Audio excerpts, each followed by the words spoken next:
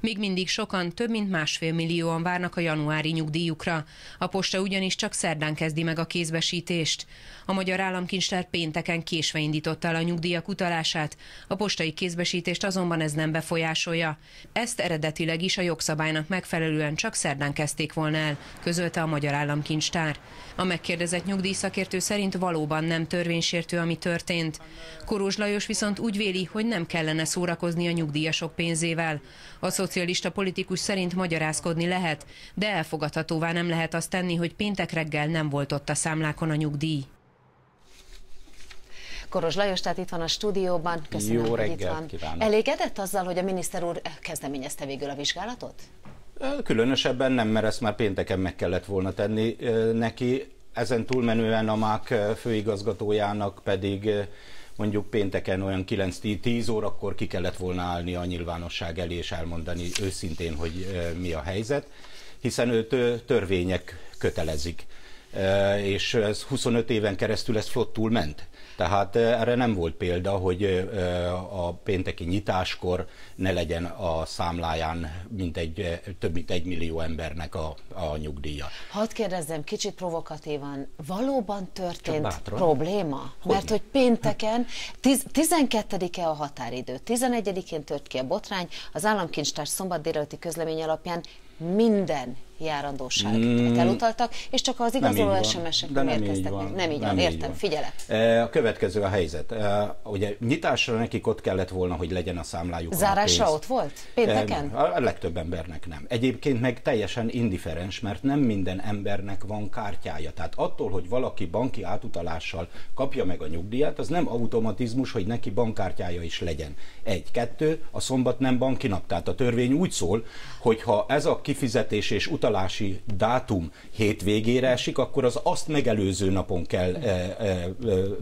átutalni a, az összeget. Péntek délután az még mindig az egyébként azt az automatákat, nap. hát akiknek, á, akinek átutaltak, de, de hogy mondjam, össze-vissza utalgattak. Tehát uh-huh. látszik, hogy belenyúltak a rendszerbe, Nekem nagyon sok olyan telefonáló elmondta, hogy férfeleség, nyugdíjas, és mind a ketten egy kereskedelmi banknál vannak a, a legtöbben OTP-nél, és azt mondták, hogy az, a férnek megjött, a feleségnek nem jött meg, mm már teg, tegnap is volt legalább tízből kettő olyan, aki még mindig nem kapta meg, és tegnap azért már hétfő volt. Nem csak az igazoló SMS, nem csak ahogyan az, igazoló az sokszor kiderült, hanem a, számlán sem volt a pénzük. Aha. A másik, hogy azt azért tudni kell, hogy Magyarországon ugye a szombat az nem banki nap. Igen. Tehát, hogyha még esetleg pénteken valakiknek utaltak is, és számláról akart levenni készpénzt, és nem bankkártyával akart automatából pénzt venni, rendszerint a bankfiókok egy órakor bezártak.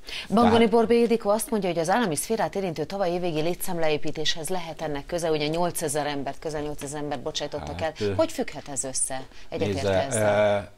olyan mérhetetlen a fluktuáció az államigazgatásnak ezen a területén, amelyet el se lehet mondani. Tehát én az ősz folyamán parlamenti megszólalásomban, interpellációban, írásbeli kérdésben fordultam a minisztériumhoz. Tudjuk jól, teljesen szétverték az államigazgatásnak ezt a szegmensét.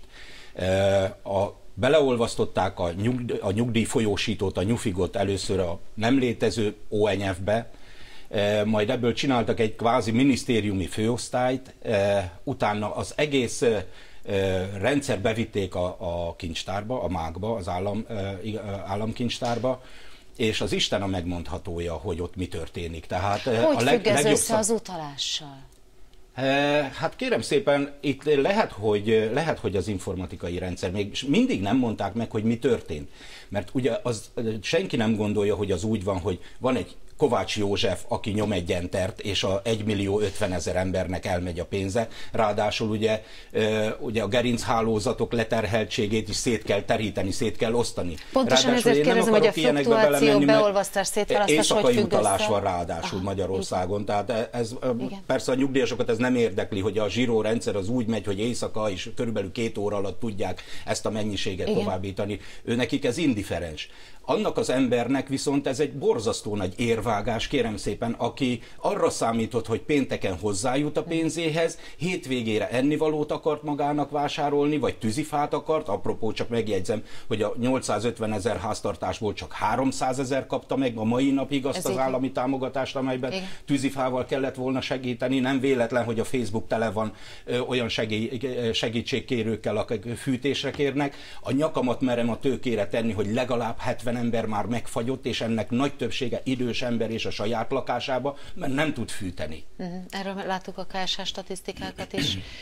Hát a, a múlt Fidesz... évben 270-en fagytak meg. Hát többen, mint amennyit gondoltunk, vagy amit mi összekukáztunk, mert nincsenek exakt adatok, és utólag tudtuk meg, hogy a KSH számítása, illetve összesítése alapján 270 e, halálos áldozat volt, akiknek nagy része, nagyon nagy része egyedül élő, idős ember, egyszemélyes háztartásba és nagyon alacsony nyugdíja rendelkezik. Nagyon fontos a téma, amiről beszél. Eltávolodtunk a nyugdíjaktól, de örülök, hogy erről is esett egy fél mondatnyi szó, és még egy dologról hadd beszéljek önnel a maradék időben.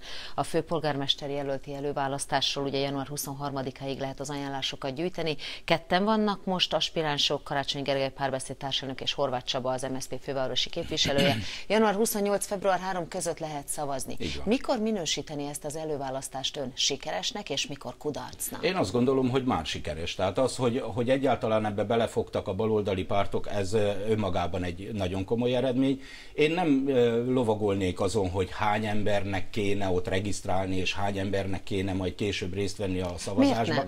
Azért, mert legalább ebben a, hogy mondjam, információ éjséges időben, amikor nincs parlament, nincs, nincs közvetítés, nincsenek olyan történések, akkor legalább lerendezzük ezeket a dolgokat, és február elejére tiszta kép lesz, és rá tudunk fordulni a, a, a, a európai parlamenti választásokra, és rá tudunk fordulni az őszi helyhatósági választásokra. Azért igazán nincs uborka szezon, elvileg általános sztrájkot szeretnének sokan, sokan pedig nem. Nemrég Kárász Robi vendége volt a Liga szakszervezetek elnöke Mészáros Melind, aki azt mondta, hogy részt vesznek a sztrájk előkészítő munkában. Egyetértenek például a félpályás útelzárással, de egyelőre ennyi pártpolitikai, úgy nevezik ők, rendezvényben, együttműködésben. Na, nagy butaságot beszélt az elnök asszony szerintem. Mit ért ezen pontosan? Én, én ezt úgy gondolom, hogy a szakszervezetnek az a dolga, hogy a, a szociális és a gazdasági követeléseit artikulálja, és hogyha nem ö, talál értő fürek, fülekre a kormány oldaláról, mert itt ugye a kormány a tárgyalófél, nem a, a gazdasági szervezet, akkor igenis ö, a, a, a végsőkig el kell menni. Többféle az stratégiai elképzelése lehet. Sztrájkig is. És nem igaz, amit a, a kancellária miniszter a múlt héten mondott, hogy politikai követelések követelésekkel ők nem foglalkoznak. Szó nincs erről. Amit a szakszervezetek követelnek, tessék elolvasni azt a négy pontot. Abban a korkedvezményes nyugdíj van benne, abban a sztrájk törvény és a munkatörvénykönyve van benne, a kafetéria megnyírbálásának a helyreállítása van benne. Az, hogy vannak politikai követelések, és azt az ellenzéki pártok artikulálták bent az országgyűlésben, az csak a, véletlenen múlott, hogy összeértek a politikai követelések és a gazdasági követelések és a szociális követelések. Tehát a szakszervezetek nem politikai követeléseket fogalmaztak meg, azt az ellenzéki pártok végre.